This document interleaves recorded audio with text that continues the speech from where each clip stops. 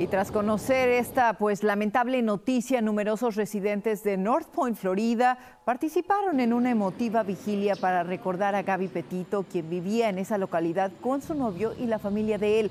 El prometido de la víctima fue declarado persona de interés en el caso luego de que la familia de ella lo reportó a ella como desaparecida y él regresó de este viaje que hicieron solo. Ahora la familia de él también dice que está desaparecido y el FBI desplegó ya un amplio operativo para tratar de encontrarlo.